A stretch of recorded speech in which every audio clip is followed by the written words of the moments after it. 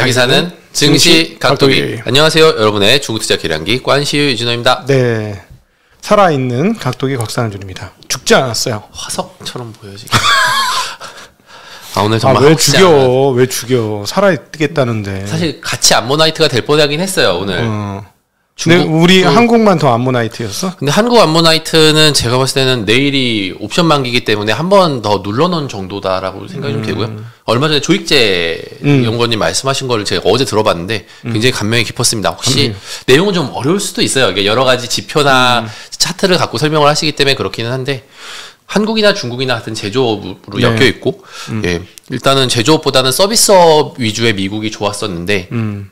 미국이 이제 테이퍼링을 하고 나서 중국이 그거에 대응하기 위해서 좀 뭔가 유동성을 펼치는 사례들이 과거에 많았었기 때문에 이번에 그걸 기대해봐도 좋다 라는 시각으로 말씀을 해줬던 건데 네. 예, 들어보고서 오늘 장을 그리고 이제 최근에 저의 그 처참했던 모습들을 딱 복기를 해보면은 많이 맞아 떨어지는 부분들이 좀 있어 보입니다. 그래서 아, 그분은 저보다 나이가 더 많으신 선배예요. 한참 선배실 것 같아요. 어, 그래? 내가 그렇게 잘 오- 먹나? 오늘 이렇게라도 띄워드리지 않으면 더 이상 얼굴이 이게 참 마음이 안쓰러워서 어, 근데 그분이 네. 정말 대단하다고 느끼는 게 보통 그 정도 나이가 되면은 그렇게 어, 자세한 그렇게 많으세요? 아니 이제 우리 애널리스트계에서는 환갑이 시 어, 굉장히 오래 되셨잖아. 어, 네, 어. 그런데 그런 정도로 자세한 리포트 쓰면 주변에 있는 애널리스트 미치려 그래요. 숨 막혀서. 왜냐하면 그게 얼마나 많은 공이 들어가는 음. 그렇죠. 그러는 거 사실 알거든요. 그, 왜냐면 그 저희 작품인데 어 나는 이렇게 보면서 어 저거 어디서 찾았지? 어 저건 어디서 찾았지? 저건 또 어디서 아 저건 저기서 찾았겠구나. 막 이러면서 듣는 거예요. 그러면서 야 그거 찾느라고 진짜 고생 많으셨다. 막 이런 생각이 들더라고요.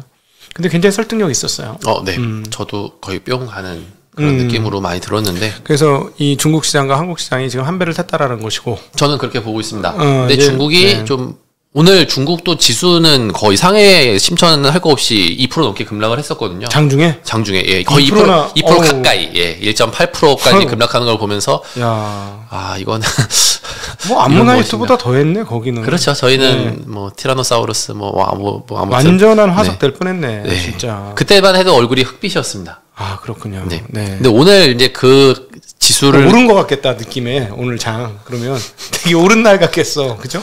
그 기분으로 일단은 방송 어떻게든지 끌고 나간 다음에 울더라도 예, 할 수 있게 좀 컨디션을 올려놨고요. 어쨌든 빠져서 마감된 거고. 네. 오늘 10시에 중국이 10시 반에 그 소비자 물가, 생산자 물가 지수가 발표가 나 음. 아, 드디어 됐습니다. 나왔는데 예상보다 더 높게 나왔죠? 굉장히 높게 나왔고요. 네. 일단은 그 생산자 물가, 원자재 가격 급등했기 때문에 일단 시장 예상은 12% 이것도 그러니까. 역대 최대 연- 그 예상을 했던 건데 13.5가 나왔습니다. 어, 소비자 물가 지수는 그래도 1.5 정도 나와주지 않을까? 아, 1.2 네. 이 정도는 나와주지 않을까 싶었는데 1.5. 그러니까 더 뭐 높게 나왔어. 생산 아니, 생산자- 소비자 물가도 오른 거야. 소비자 물가 지수도 좀 오르긴 했는데 소비자 물가 지수는 요만큼 더 오른 거고 생산자 물가 지수는 이만큼 더 오른 겁니다. 지난번에가 11위였나 그랬죠? 네, 지난번에 나왔던 거는 11%였고요. 음. 그러니까 지금 13% 나왔으니까. 예, 그게 나오자마자 이제 중국장에서는 폭락이 시작이 됐습니다. 어. 일단은 원자재 가격 급등한 것들이 좀 이제 이 물가에 반영이 됐다라고 생각을 하니까 그러면은 더 누르지 않겠느냐라는 그런 부분들이 좀 반영됐던 것들이 있어 보이고요. 원자재 가격 뭐 석탄 가격 이런 거더 빠졌나요? 서- 어, 장중에 오늘 그래서 이제 이 물가 발표된 시점에 석탄, 뭐 철광석, 철근 할 거 없이 다 급락을 했었다가 오후 들어서 다 말아 올렸습니다. 다 말아 올렸어. 예, 그뭐 네. 이 장중에 이제 플러스로 전환된 가- 그 원자재들도 있고요. 네. 관련돼 있는 기업들도 원자재 관련돼서 이제 뭐 석탄 채굴 기업이나 뭐 철근 관- 만드는 기업들 이런 기업들 음. 급락했다가 대부분 플러스 전후로 다 마- 말아 올렸다는 게 굉장히 좀 특이 사항이었다라고 음. 보시면 될 것 같고요. 근데 이제 화면 바깥으로 나가 있지 말고 좀 안으로 어, 네. 들어오세요. 때릴까? 아, 아, 난 때릴 힘도 없어. 아. 그래, 그 정도신가요? 왜 그래. 알겠습니다. 어, 네. 마, 마음 놓고 말씀을 드리면은 네, 네. 예, 그래서 확실히 오늘은 이 원자재 관련된 기업들이 굉장히 강하게 반등을 해주었다. 물가 지수가 굉장히 높게 나왔음에도 불구하고 좀 그렇게 나왔다는 게 좀 이색적이었다라고 보면 좋을 것 같고요. 상대적으로 여전히 제조 관련된 기업들은 반등이 잘 안 나왔고 최근에 그나마 가격 인상 시키면서 조금 반등했던 제조 기업들도 다 오늘 흐름이 안 좋았습니다. 뭐 백주라든가 아니면 뭐 자동차도 별로 안 좋았고요. 예, 조미료도 별로 안 좋았고 네. 네. 그리고 뭐 원이 이, 그냥 시장 전체적으로 말씀을 드리면 반도체 그 최근에 좋았던 반도체에서 좋았고 네. 바이오가 급락을 했었는데 지난 최- 어제까지 음. 오늘 좀 강하게 반등이 나왔고요.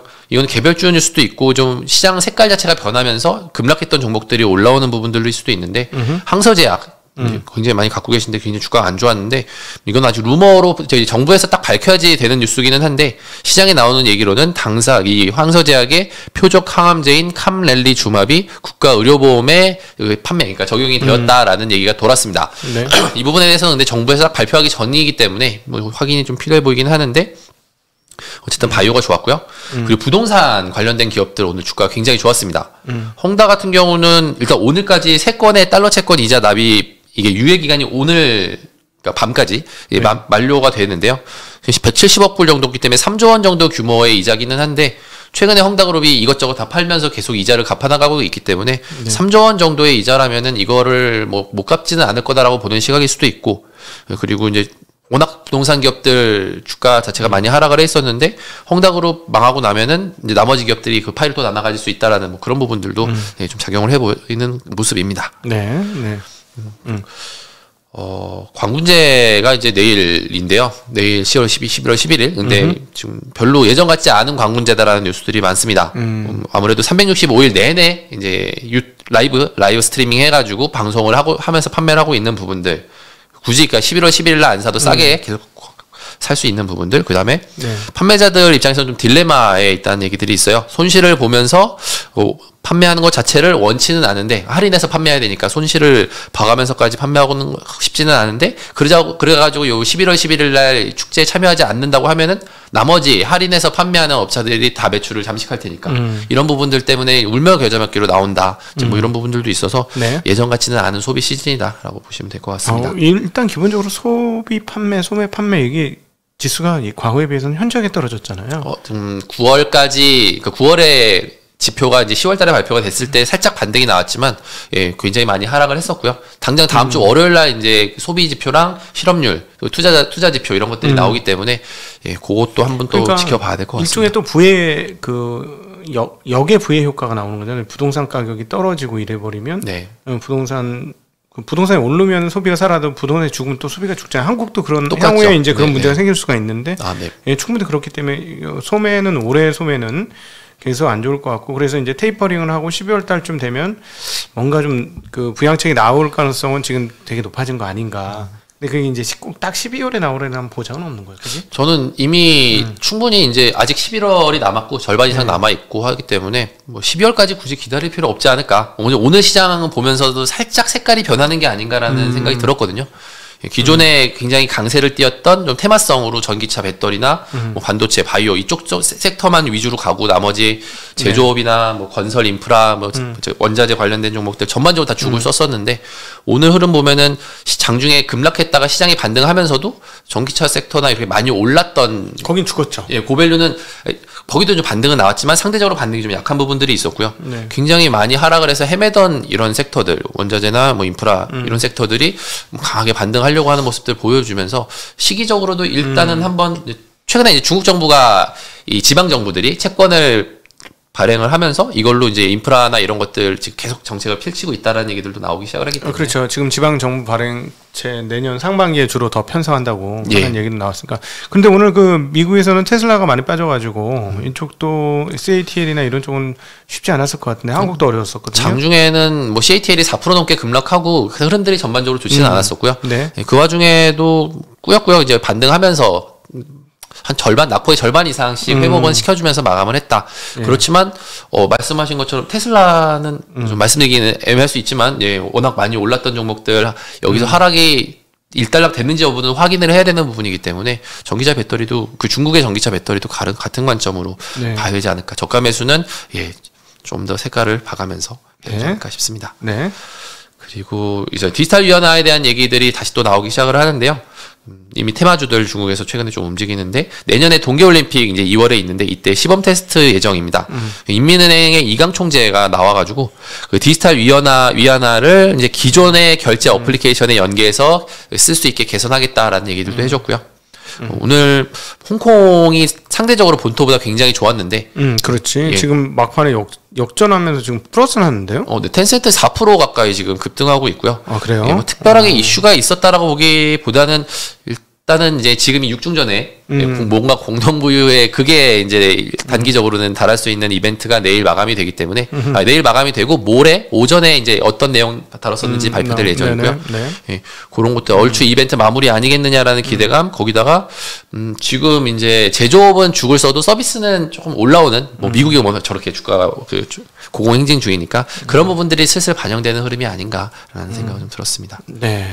네. 아유, 오늘 고생 많으셨는데 오늘 뭐 또 소개해 주실 기업은요? 아 기업이요 조금 늦게 그 가져온 기업이긴 한데 태양광 관련된 기업입니다. 양광전력 네. 선그로우라고 하고요. 예. 창업한에 상장돼 있어서 저희가 직접 투자는 좀 어렵지만 300274입니다. 세계 최대의 태양광 인버터를 만드는 기업인데요. 네. 잘 아시죠 인버터 태양광 집에 태양광을 전기로 바꿔주는 거. 저희는 이제 전기가 부족해졌어요. 전기차 아 쓰면서 자동차 어, 어 3kW가 부족해져서 3kW 추가로 달기로 했는데 모듈 쇼티지야. 지금 두 주째 기다리고 있어. 옛날 같으면 바로바로 설치해 줬는데. 멀리 자전거 타실 필요 없이 그거 연결해서 열심히 돌리시면 충분히 자동차 음, 그러면은. 아마도 아마 이렇게 해야 될 거예요. 회사 안 다니고 계속 자전거만 돌리고 있어야 될 것 같아. 뭐, 아직은 효율이 어. 좀 떨어지는 옛날 소금 소금 이렇게 물레방아 하듯이 하루 종일 그것만 해야지 우리 집 쓸 거 반도 못 할 걸. 요즘 그런- 같은 시장이면 음, 전직하시는 것도 한번 고려해 보시는 게 아니 그거 하루 종일 그것만 해. 밥 그럼 뭐흙 퍼먹고 사나? 어? 아, 나 그렇습니다. 예. 아, 뭐 주식하면 살면 되긴 하네. 스마트폰으로 보면서 이거 어, 뭐 이제 시골에서 다. 어? 아, 요즘에 아주 뭐, 아, 다들 굉장히 많이 힘드실 것 같은데 잘 좀 버티셨으면 좋겠습니다. 그러니까, 아, 제가 이제 요즘 어떤 느낌이 드냐면, 음, 주식 투자를 좀 하는 사람 왜 개인 투자만 하는지 조금 아, 이해가 돼요. 그렇죠. 근데 저, 운용을 저희, 어, 저희 그, 개념이죠. 저희한테 오신 고객들은 너무 사람들이 좋아.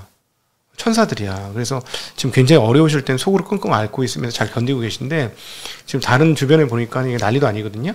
그쵸 예, 난리도 아닌데 아 지금 저는 저는 저기 이제 걱정인 거예요. 아, 이분들은 어떻게 마음을 잘 다스리고 계실까? 이걸 어떻게 하면 좋을까? 막 이런 스트레스가 있는 거예요. 이미 중국 투자를 경험해 보신 분들이 오시지 않았을까 라는 생각이 듭니다. 아니 그러니까 많은 사람들이 지금 막 고민하고 있을 거를 생각하는 아, 전화를 게 그, 어, 그거를 생각하고 있는 스트레스가 있는 거죠. 음. 그러니까 아, 얼마나 마음이 아플까 지금. 음. 근데 이거를 아, 어떻게 납득을 시켜야 되나 이 상황들을 어, 이런 시장 자체가 사실 뭐 그러니까 그런 아니 그러니까 그런 심각한 고민을 하니까 그냥 내. 것만 하는 게 제일 편하겠구나 하는 생각을 하겠더라는 거지 운용자. 그래서 실제로 자산 운용사들 중에 외부 자금 안안 받고 자기 돈만 하는 사람 꽤 있죠. 많아요. 네. 네. 헤지펀드들도 그런 경우 네. 음. 많고. 뭐 계속 말씀드리겠습니다. 예, 이 태양광 인버터라고 하는 거는 태양광 발전을 통해서 모아진 전력은 이제 일단 직류 형태거든요. 그렇지. 이제 요거를 바로 이제 가정에서 사용하기는 어렵다 보니까 요걸 교류 형태로 바꿔주는 게 필요한데 그거를 하는 장치가 바로 인버터라고 보시면 됩니다. 그래서 아무리 고효율의 전력을 생산한다 하더라도 이 인버터가 고장 나면은 바로 발전이 중지되기 때문에 전기를 쓸 수가 없어서요. 이게 이제 중요한 이제 부품이라고 보시면 되는데 이 보통 인버터 같은 경우는 수명이 한 7년에서 10년 정도 된다고 합니다. 아 진짜? 네. 바꾸실 때 됐죠. 어, 한 2년 더 있으면 바꿔야 되겠네. 아, 네네. 2015년부터 글로벌 태양광 시장이 급성장했기 때문에 이제 그때 지나서 벌써 이제 2022년이 되기 때문에 거의 교체 주기에 다 다다랐다고 보시면 되고요. 네. 이 선그로우 이 양광 전력은 글로벌 1위 태양광 인버터 제조 기업이고 예, 2018년 기준으로 해서는 시장 점유율 15% 이상이었는데 더 늘었을 것으로 보여지고요.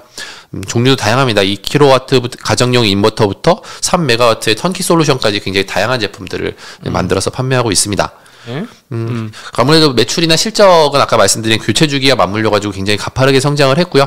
2020년 기준 매출이 한 2.4조 원에 어 순이익이 1,600억 원 정도 기록을 했었는데 시가총액이 오늘 종가 기준으로 43조 원입니다. 좀 많이 최근에 주가 급등했던 부분들이 반영을 했고요. 대박이다. 어. 근데 이제 그게 최근에 주가가 올라갔던 게 최근에 그 풍력 관련된 기업들도 말씀드렸지만 올해 들어서 분기 단으로 이 매출과 이익 성장이 어마어마했습니다. 음, 이- 이거 그럼 풍력에도 쓸 수 있잖아요. 근데 태양광만 쓴다? 요거는 태양광에 들어가는 인버터로 어, 네. 네. 예. 그 삼- 올해 3분기까지 매출이 2.8조 원에 순이익이 2,700억 원이어가지고 작년 전체보다도 훨씬 더 한 분기 정도 더 이제 지금 매출과 이익이 나 있는 상황이다라고 보시면 되고요. 이렇게 가파른 성장 보이다 보니까 뭐 PER도 지금 한 120배 정도까지 많이 내려와 있습니다. 주가는 올라오고 네, 네, 네. 네. 200 200배대에서 쭉 260배에서 지금 120배 어. 정도 수준. 야, 중국판 테슬라네. 400배에서 100배대로 떨어뜨렸는데. 네. 네, 그 아, 이게 예. 큰 제품은 사실은 어. 아니긴 한데 네. 네, 성장성은 좀 많이 늘어났습니다. 네네. 네.